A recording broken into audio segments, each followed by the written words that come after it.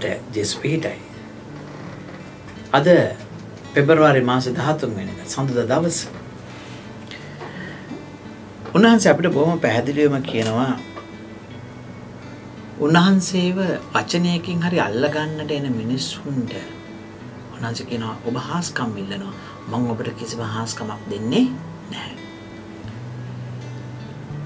මං ඔබත් එක්ක මෙහෙම බෙදා ගන්නම්. ප්‍රසිද්ධ වයලින් වාදකයෙක් ඉන්නවා ෆ්‍රිඩ්ස් ක්‍රිස්ල කියලා. ඔහු දවසක් නැවේ ගමන් කරනකොට මේ නැව වරායකට සේන්දු වෙනවා. පැයක එකා මාර්ග පමණ කාලයක් තමයි මේ නෑ වරායි තියෙන්නේ හැබැයි ක්‍රිස්ල මොකද කරන්නේ නැවින් බැහැලා නගරේ පැත්තට යනවා යනකොට ඔහු දකිනවා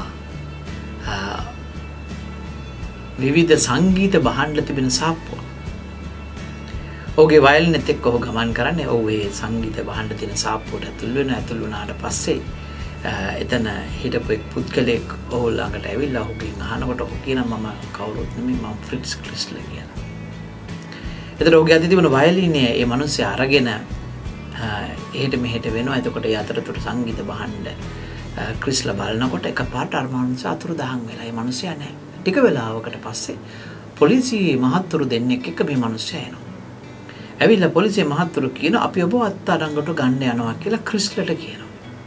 ක්‍රිස්ලාන ඇයි මොකක්ද මොකටද? කද හේතුව? එතකොට කියනවා ඔබ ෆ්‍රිට්ස් ක්‍රිස්ටල කියන මේ මනුස්්‍යයාගේ වයලීනය හොරකං කරලා. එතකොට ඔහු කියන මමනේ ෆ්‍රිට්ස් ක්‍රිස්ල.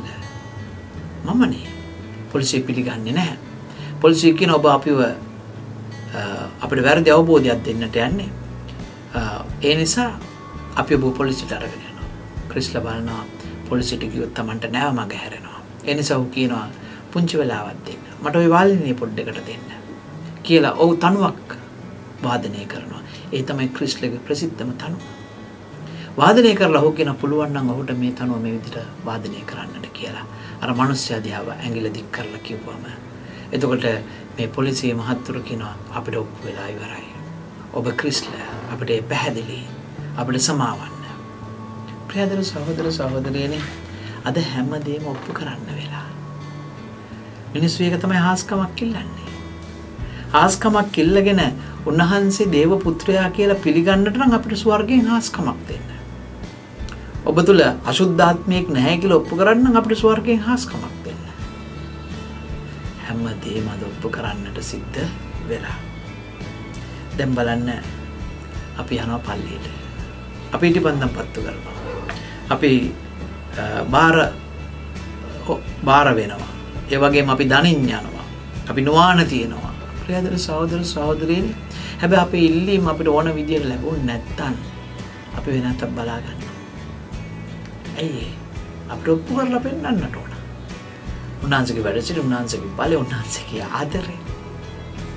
අද සාමාන්‍ය සමාජයට හැමදේ ඔප්පු කරලා පෙන්න්න ඕන නැද්ද? අද දෙමවපියන්ට දරුව පැහැදිලියම කියනවා ආදරේ නම් ඔප්පු කරලා පෙන්න්න ඉඩම ලියන්න.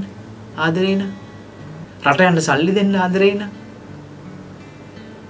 ප්‍රියදර සෝදර සෝදරයනය අද ආදරය කියලා තොප්පු කරන්න සිද්ධ වෙලා. අත් කපාගන්න ආදරය කියලා. තෑගි බෝග දෙනවා. දෙන ලොකුම තෑග කවද දෙන්න? එතකොටම ආදරය කියල ඔප්පු වෙන්නේ. වැඩි මාදරයා තමයි. දැම් මෙහැම දෙම ඔප්පු කරන්න සිද්ධ වෙලා තියෙන්නේ. දෙවියන් වහන්සේ අවිශ්වාස කරන අපි ඔප්පු කරලා පෙන්නන්න කියන අපි උන්වහන්සගේ හාස්කම් ප්‍රාතිහාරයෙන් ඉල්ල ඉල්ල ලැබනකොට විතරක් උන්වහන්සේත් එක්ක ඉන්ඩ ලෑස්ති වෙන අපි සාමාන්‍ය ජනතාවටත් සලකන්නේ විදිටම අම්ම තාත්තද දරුවද එහෙමන්න නැත්තම් කොයි කෙනාද රැකියාව කරන තැනතික අපි කවදාවත් තකන්නේ නෑ අපිට ඔප්පු කරලා පෙන්න්න සිද්ධ වෙලා ඔප්පු කරලා බලන්න සිද්ධ වෙලා ඔප්පු කොළොත් පමණක් පිළිගන්න සිද්ධ වෙලා අපේ වෙනස් වෙන ඔප්පු කරන්න අවශ්‍යන උන්නාන්සගේ ආදරය. හැම්මත් තරම ඔප්පු වෙලා තියෙන්නේ. ඔබ මමතම උන්නාන්සගේ ආදරය සලකුණ. ඔබේ අම්ම තාත්තගේ ආදරය ඔප්පු කරන්නට ඕන නෑ. ඔබ මම තම අම්ම තාත්තගේ ආදරය. ආදරය ඔප්පු කරන්නට ඔන්නෑ කාටත්. දැනෙන්නේ නැත්තන්න දැනෙන් ආදරය කරන්න. ඔබට ජෙස්පීටයි